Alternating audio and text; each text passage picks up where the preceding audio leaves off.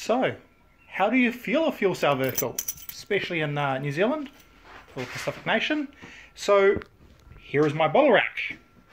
This here's nitrogen, pure nitrogen. Here's hydrogen, more and more hydrogen. These are about 800 bucks each. It makes it fairly thirsty to feed. Okay, so the first thing to tell you about is nitrogen. Now, the fuel cell, this here, uses nitrogen. So this is the filling connector, this is the bleed connector, and this allows me to fill this accumulator over here with high pressure nitrogen gas. And what that does is at the start of the fuel cell uh, operation, it purges the fuel cell, uh, gets rid of any oxygen or anything like that that might have seeped in, and at the end of when I shut it down, it also purges again to get all the hydrogen out of the fuel cell, and that just stops the reaction because it's a chemical reaction. Um, this is the safest and cleanest way to do it. So we use nitrogen. Right, how do I fill it with hydrogen? Well, that's even simpler. Here on my hydrogen bottle, I've got a gauge, bleed valve, and a little filling barb. What I do is I slide this here to the socket here. Oh, there we go. Just like so. La la la la. Turn the ignition on because it needs to energize the in-tank regulator valve. Crack the bottle. Uh, that's why it's a little hard. It's got some residual pressure. Crack the bottle. Uh, hydrogen gas flows.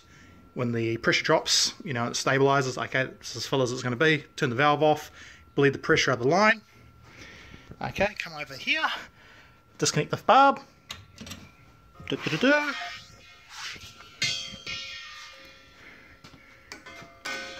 Okay, so that's just a residual pressure of 1000 psi, or about 75 bar.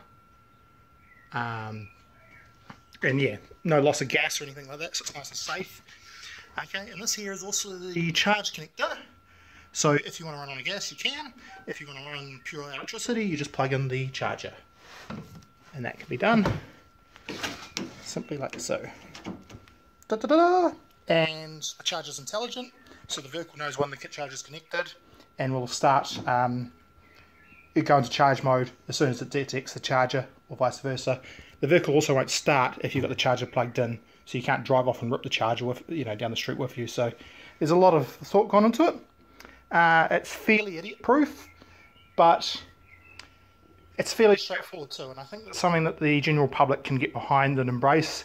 It's not complicated technology. It's either bloody plug in the charger or plug in a gas connector. Um, and so on and so forth.